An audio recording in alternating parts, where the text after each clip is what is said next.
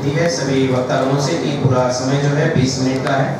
17 minute के बाद एक बीर बजाई जाएगी और उसके बाद में 20 मिनट में आपको खत्म करना है।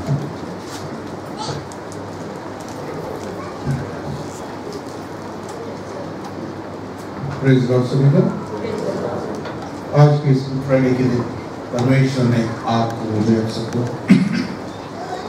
अपने पवित्र बहुत मन लेकर आया है। उसके धन्यवाद देते हूँ। पास साहब ने कहा। हम सब अच्छी नींद सोकर आए। सच में अच्छी नींद है। परमेश्वर ने अभी तक हम सबको संभाला है, जीवित रखा है।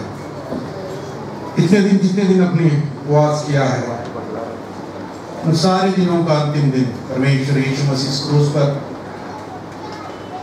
चलने के लिए, जो चालीस दिन उपवास से हम चल रहे हैं इसमें परमेश्वर ने आप सभी को संभाला है, मुझे संभाला है। और खास कर कर यहाँ पर मैं स्टेट कमेटी इवेंजलिज्म कमीशन अपना इवेंजलिज्म मिशन के चेयरमैन, उनके कमेटी को, पासवान को, सारी कलिशिया को, उन्होंने इस लायक समझा कि मुझे एक वचन देने के लिए उन्होंने मुझे चुना परमेश्वर के सलीब पर गए हुए सात वचनों में से वचन के लिए उन्होंने मुझे मौका दिया। इसलिए आप सभी को धन्यवाद देता हूँ। और परमेश्वर से मैं विनती करता हूँ कि वचनों में जाने से पहले परमेश्वर हम सबकी और मेरा खासकर समझ खोलकर हम सबको वचन को समझने की मदद करें। छोटी सी प्रार्थना करें। हमारे सर्वशक्ति में हम परमेश्वर पिता आपको धन्यवाद देता पिता। यीशु, आप जो सलीब पर सात वचन कहे, प्रभु जी। आपके वचन प्रभु जी, समझना ही बड़ी बात है, प्रभु जी।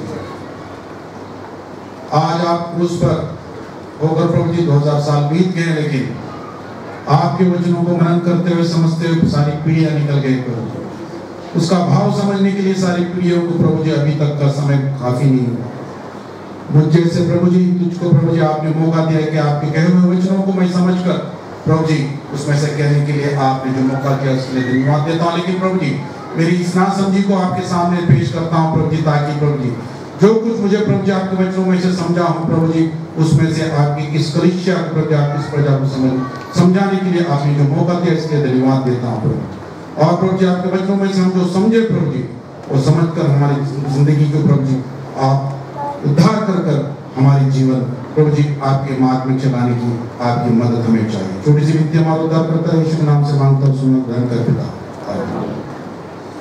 प्रियो, ये जो वचन यीशु मसीह सलीब पर कहा हुआ पहला वचन हम देखते हैं। ये पहला वचन में कहते हैं कहते हैं कि हे पिता, इन्हें माफ़ कर, क्योंकि वे जानते नहीं क्या कर रहे पहले यीशु मसीह का अगर इसका दो वचन जो हम जैसा प्रिंट आउट में देखें, हे पिता, इन्हें माफ़ कर, उसको हम पहला एक बार इसका अलग कर देखेंगे बाद में ये सोचेंगे क्या कर रहे हैं जानते नहीं। तो परमेश्वर यीशु मसीह के साढ़े तीन साल के अंदर जो कुछ उन्होंने सिखाना या वो प्रचार करना शुरुआत किया है, वो परमेश्वर यीशु मसीह का ये जो टीचिंग था, वो था क्षमा। यानी माफ़ करना।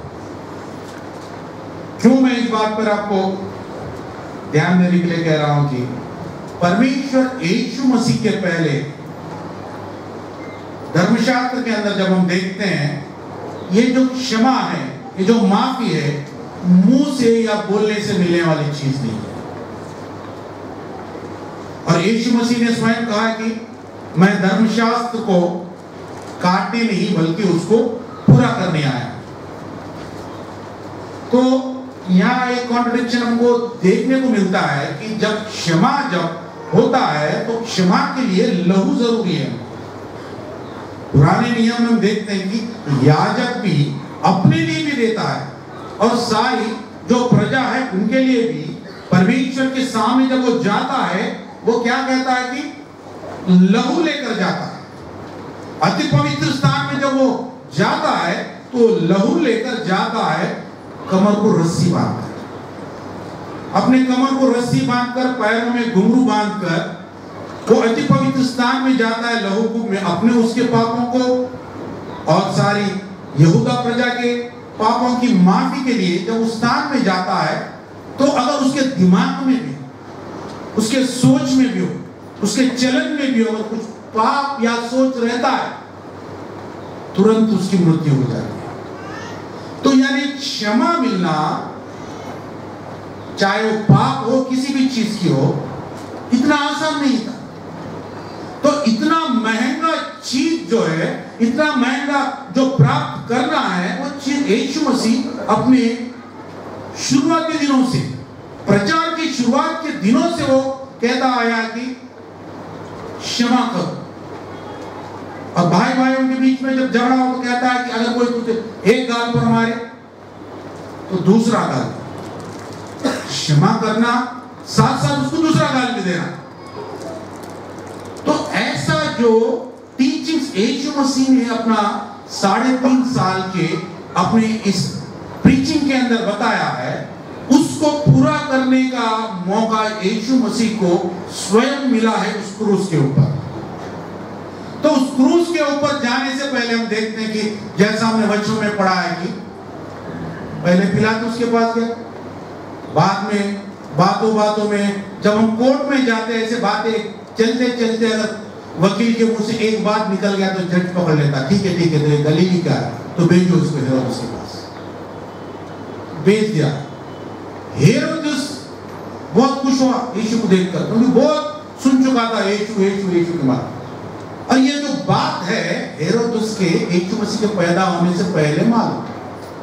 दूसरा जो हेरोद था कि हम देखते हैं कि जब यीशु मसीह को सलीब पर मारा गया, यहाँ पर लिखा गया कि ये यहूदियों का राजा था। जब यीशु मसीह का जन्म हुआ, तब क्या लिखा था? तीन ज्ञानियों के बताया कि हेरोदस को एक राजा का जन्म हुआ है। राजा और यहूदियों में से। तब सारे बालकों को मार दिया गया। वही आज वो हेरोदस को पता है, वो कहता है कि तू तो मसीह है। मसीह यानी जिनका उद्धार किया जाता उस व्यक्ति को मसीह कहते हैं। खुशी हो, खुशी से कहता कि मेरे सामने कुछ अद्भुत कार्य कर, कुछ तो भी कर। वो इतना खुश था, अगर बाइबल पढ़ते हैं तो वाक्य में इतना खुशी वचन में हमको देखता है मिलने को जब पढ़ते हैं। अगर यीशु मसीह एक भी चमत्कार कर देता तो शायद हेरोदस इतना पागल हो जाता कि यीशु मसीह को छोड़ देता और बाजू में भी बिठा सकता था। ऐसी परिस्थिति में ना मुँह खोलता है यीशु मसीह ना कुछ कहता है। तो उसके हेरोदस के बाजू में जो लोग रहते हैं, वो भी उसकी मज़ाक करते हैं करते यानी अपने आप को बचाने की यीशु मसीह को जितने चांस मिलते हैं, पिलातुस भी कहता है कि इसको मृत्यु का दंड देने जैसा इसमें कुछ मुझे दिखता नहीं तभी यीशु को कहता है कि तू कुछ बोल, अपना मुँह खोल। वही नहीं कहता और ये पूछता ये लोग कह रहे हैं कि तूने कहा कि तू यहूदियों का राजा है। जैसा तूने कहा, वैसा कहता है। बल्कि उसका दूसरा उत्तर नहीं है। प्रियो, ये जो जैसा हम दिखते हैं वचनों में हम पढ़ने, पढ़ते हम। यशा इर्मियान जिस तरह मेमना वध करने से पहले अपना सर झुकाकर चलता है उसी तरह हमारा परमेश्वर अपना सर झुकाकर चलता है। और सारे उसकी जो सिखाई हुई सारी बातें इस पहले वचन के अंदर हम समझने को हमको मिलता है और आज हम पढ़ते हैं ये वचन कि यीशु मसीह सलीब पर कहता है कि हे पिता, इन्हें माफ़ कर। एक आसानी, एक सरल वाक्य में हम इसको पढ़ते हैं। इसको समझने के लिए इतना सरल बात हमारे दिमाग में से जैसा कान में से घुसता है, उसमें से निकल जाता है। लेकिन प्रियो, इस क्षमा का जो, ये क्षमा करने के लिए ही यीशु मसीह उस सलीब पर आया। सलीब तक पहुँचा।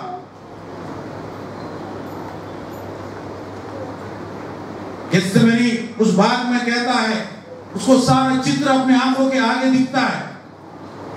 उसका पसीना जो है लहू बनकर नीचे ज़मीन पर गिरता है, वो कहता कि, हे पिता, अगर तेरी इच्छा है तो ये पात्र मुझसे हटा उद्धार चाहिए इस मनुष्य को। अपने पापों से छुटकारा चाहिए।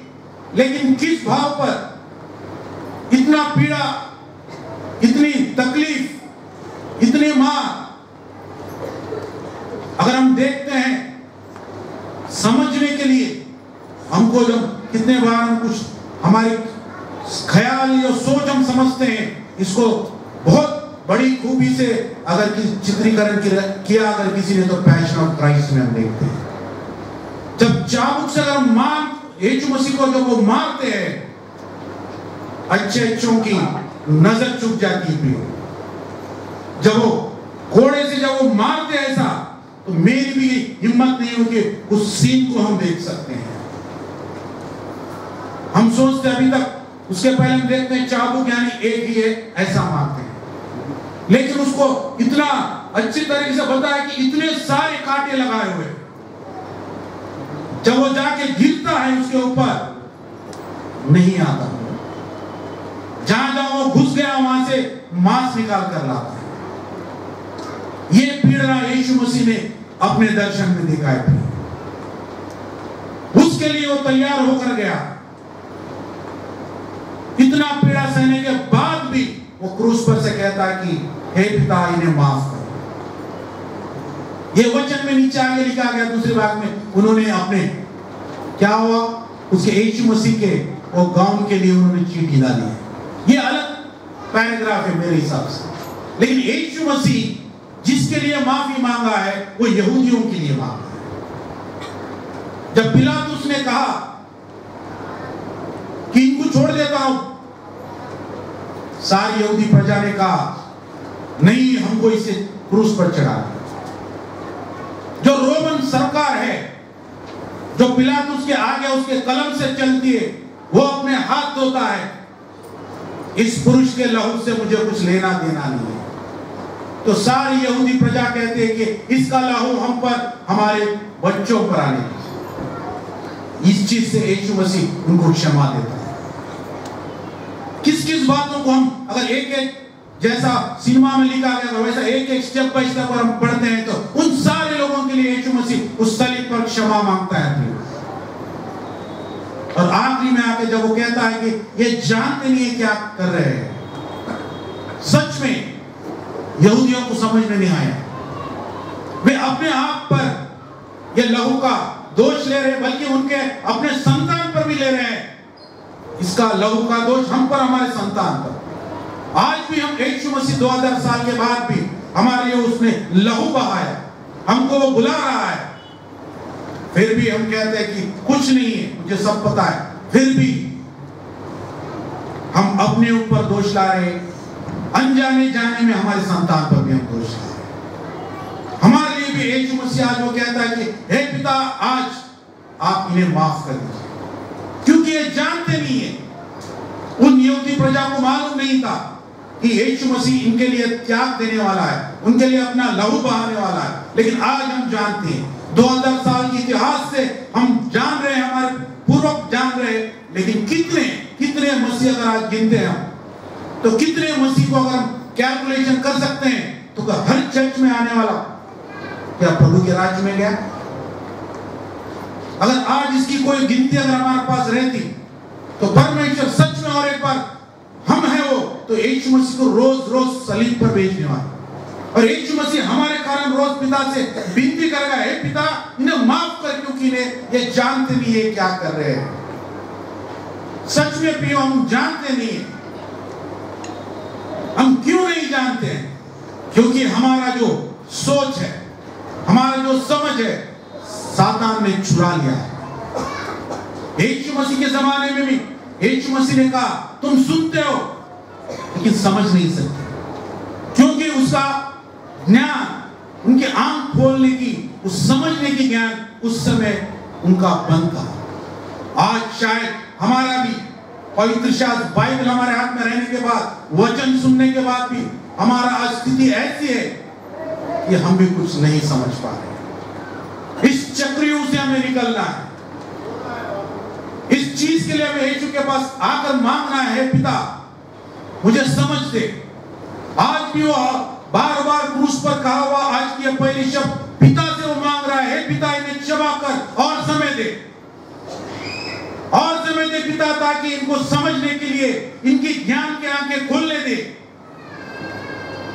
वे आ रहे हैं चर्च को बार बार वचन सुन रहे हैं लेकिन वे समझ नहीं पा रहे ये क्या कर रहे हैं। हम जो समझते हैं वो सही है, लेकिन कितना सही है, उसको भी हमें पता नहीं। बाइबल समझा रहा है, फिर भी हम समझ नहीं पा रहे। तो यीशु मसीह को उस क्रूस पर कहा हुआ पहला वचन, आज भी वही पहला वचन हम सबका जीवन बदल सकता है। वो पहले वचन में वही शक्ति है। यीशु मसीह के सारे साढ़े तीन साल की सेवकाई जो शुरू से लेकर उसने कहा अंत सलीब पर पहला वचन तक कि हे पिता इन्हें माफ़ कर, ये जानते नहीं है क्या कर रहे हैं। आज भी हमारे लिए उतना ही प्रभावशाली है, उतना ही हमको बचाता है, उतना ही हमको उद्धार देता है। यीशु मसीह ने सलीब पर आने से पहले कहा कि मन फिराओ और उद्धार पाओ। मन फिराकर उद्धार पाओ, स्वर्ग का राज ऐसे उनके लिए है। ना किसी का बलिदान देने के लिए ज़रूरत नहीं या किसी के पास जाकर कुछ माफ़ी मांगने की ज़रूरत नहीं कोई इंसान के हाथ तो आज भी वही वचन परमेश्वर हमको कहता है कि मन फिराकर मेरे पास आओ भी क्योंकि हमारा जो है बलिदान, हमारा जो त्याग, जो हमको परिश्रम उठाना था, जो हमारा क्रूस हमको उठाकर चलना था, उस क्रूस को यीशु मसीह ने उस 2000 साल पहले हमारे लिए उठाया। उसने उस के मार से उसने अपना लहू बहाकर, उस कोड़े खाकर, उसने आज हमको माफ़ी दिया है और आज वो क्रूस पर से अपने, हमको जो माफ़ी दिया है, स्वर्ग के पास, पिता के दाहिने हाथ बैठ कर वो हमको माफ़ करने के लिए तैयार है। बार बार पिता से अनुरोध कर रहा है कि पिता, इन्हें माफ़ कर, क्योंकि ये जानते नहीं, ये क्या कर रहे हैं या बोल रहे हैं। क्या आज हम उसके पास आएँगे? आज सलीब पर यीशु मसीह फिर से हमको बुला रहा है। मेरे पास आओ, अपने बाहर फैलाकर उस धूप के अंदर मुकुट पर, अपना सर पर उस कांटे का मुकुट जहाँ पर यहाँ लटकाया गया है। जूते रहते हुए, चप्पल रहते हुए हम झाड़ियों में जब जाते हैं तो एक, अगर हमको एक अगर ये चुपता है, अगर एक कांटा पैर में से इतना तकलीफ़ होती है, कांटों का ताज उसको सर पे दबाया गया इतने तकलीफ़ में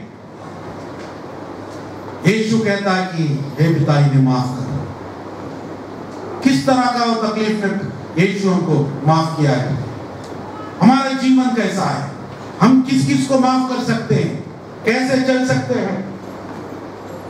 यही वचन में कहता है कि, लूका सत्रह पच्चीस में कहता है कि माफ़ कर। सत्रह अध्याय में पूरे कहते हैं अपना भाई दूसरे को सात बार मारा तो भी, वो माफ़ करने के लिए कहता है। कितने बार माफ़ करने के लिए कहता है? माफ़ी माफ़ी माफ़ी यीशु मसीह हमेशा माफ़ी पे उसका वचन पूरा माफ़ी पे चला है। तो आज इस माफ़ी का समय परमेश्वर आज हमको दे रहा है। सचमुच हम उसके पास आएँगे उससे मांगेंगे।